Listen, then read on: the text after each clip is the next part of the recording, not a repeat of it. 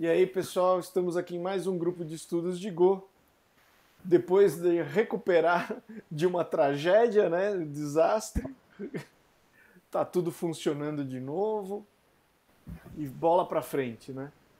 Bom, só que esse esse tempo que o meu HD falhou e eu tive que recuperar tudo, ainda bem que tinha backup, sempre faça backup. Aliás, backup todo mundo faz, o que a gente garante é o restore, tá? uma ideia antiga voltou à minha cabeça. Aquela história, eu tive tempo de ficar parado pensando, né? Então uma ideia antiga voltou à cabeça. Que é trabalhar remotamente. A brincadeira é conseguir trabalhar tendo um navegador e editar código-fonte, enfim, trabalhar de qualquer lugar. E essa é a, a, a, piada e essa é a brincadeira que nós vamos falar hoje, né? Sobre como trabalhar remotamente, tendo só um navegador e talvez um terminal, um SSH que você vai dar para um servidor ou coisa assim.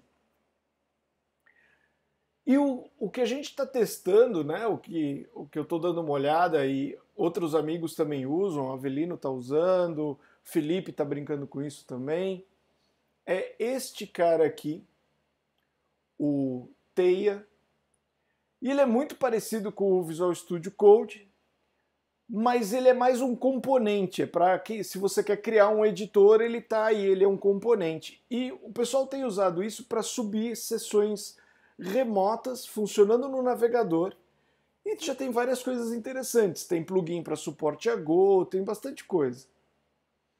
Um, o plugin para suporte a Go, tem mais de um, né? Esse aqui é um deles.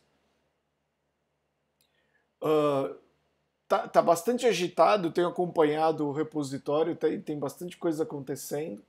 Tem umas contribuições até do Avelino aqui, tem umas coisas legais. Ainda não consegui deixar tudo 100%.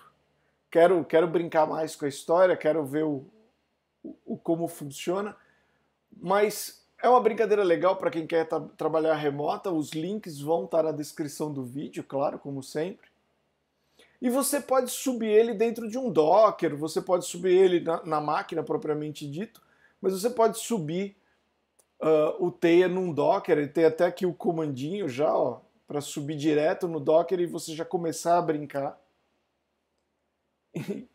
Enfim, eu testei, é bem interessante, bem legal e é bem rápido, o que me surpreendeu. Eu achei que ia ser muito lento, mas não, foi bastante rápido. E um, um, um cara que usa o Teia, que eu gostei, tô, tô brincando, ele ainda é beta, mas já tá dando para usar, pelo menos um pouco, é esse cara aqui, o Gitpod. E o que ele faz é subir um, um, um container no servidor deles, usando as suas credenciais e apontar para o seu pacote Git. Eu testei hoje, usei normalmente, sem nenhum problema. Consegui compilar código nele, consegui rodar. Né? Uh, aqui é o meu dashboard. Por enquanto não tem nada, então eu posso mostrar, não tem nada secreto aqui. E uh, quando você inicia, ele carrega a sua sessão. Vamos ver se for rapidinho a gente conseguir mostrar. Esse aqui eu estou abrindo o projeto do GoConfig, que é o nosso editor de configurações lá, né? Nosso package para configurações.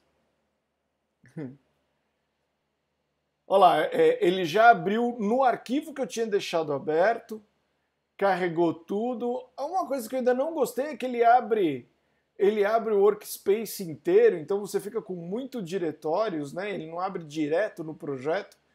Então, por exemplo, é, é tem o GoPath inteiro aqui, tem coisas demais, né? Mas enfim, ainda está evoluindo, por isso que ainda é beta. Mas o GoConfig está aqui tem um terminalzinho, então teoricamente eu nem preciso de um terminal, eu já tô, já tô trabalhando no. Já tem um terminal para mim compilar as coisas, né? Se eu der um ls aqui, tá lá o, o goconfig, posso ir no cd examples, ls, ah, pegar um simplesinho aqui. Go run main traço H. Olha lá, e ele rodou o, o, o exemplo do Go config normalmente. Enfim, dá para você brincar remoto e qualquer alteração que eu fizer aqui, isso aqui é um Git, então eu consigo uh, criar um branch, eu consigo fazer um, um, um commit, eu consigo dar um push para o repositório. Enfim, ainda tem muito que melhorar, mas já dá para trabalhar remoto. Já, já, e tudo em um único navegador. E aí a ideia é, dá para trabalhar num tablet, dá para trabalhar em qualquer coisa que tenha um navegador compatível. Eles recomendam ou o Firefox ou o Chrome. Eu estou usando o Safari porque eu sou teimoso. Mas você pode experimentar e ver o que funciona e o que não funciona. Enfim, eu achei super interessante e eu, uma coisa que eu achei mais interessante foi essa possibilidade de você fazer as suas configurações rodar no seu, uh, no seu sistema. Você não precisa usar o, o GoPod, você pode subir o Teia num, num container seu, hospedado onde você achar que deve. Enfim, bem legal. Ele tem bastante documentação, o, o GoPod, uh, enfim, é bastante simples de usar. Por exemplo, para você abrir o seu repositório, é só gopod io uh, sustenido e aí o seu repositório lá no GitHub. Claro, você vai ter que dar permissões e tudo mais, mas isso está tudo na, na, bem descrito no próprio sistema deles, né? quando você se, se cadastrar e tudo mais. Por enquanto é free, porque ainda não está, não tá, ainda é beta, né? Uh, eu acredito que quando deixar de ser beta para pacotes fechados não vai ser free. Mas, enfim, por enquanto estamos testando e estamos vendo o que vai acontecer. E durante os, o, o, os próximos meses, enquanto a gente estiver brincando com essa ideia de migrar para um, um sistema mais, mais flexível, que eu não precise ter toda essa parafernália aqui na minha volta, eu vou documentar e a gente vai bater papo sobre, sobre essa aventura de você trabalhar sem precisar necessariamente de um computador, de você ter só o seu navegador, que na verdade pode ser qualquer navegador. Você põe modo incógnito lá no navegador emprestado e sai trabalhando. É, e uma dica de aplicativo aí do que o Vinícius mandou pra gente, eu já conhecia uma coisa, já tem algum tempo, uma coisa bem. É uma coisa antiga para você ter um visual antigo. É o Cool Retro Term, que tem é um terminal bastante legal, bastante bom. Só que o legal dele é você dar esse visual de CRT, de, de visual antigo aí para o seu terminal. Ele tem muita configuração você pode acabar com um monitor de fósforo uh, âmbar, que era coisa chique. Ter um monitor âmbar era, era muito legal. Difícil era trabalhar nele. e é isso, pessoal. Uh, hoje foi só de dicas, não vamos mostrar código hoje, porque, enfim, não deu para preparar muita coisa, a gente ficou recuperando máquina.